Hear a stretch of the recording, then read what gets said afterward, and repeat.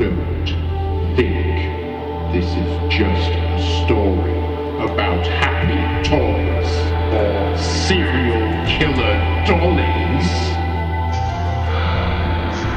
When toys attack, they are not here to play anymore.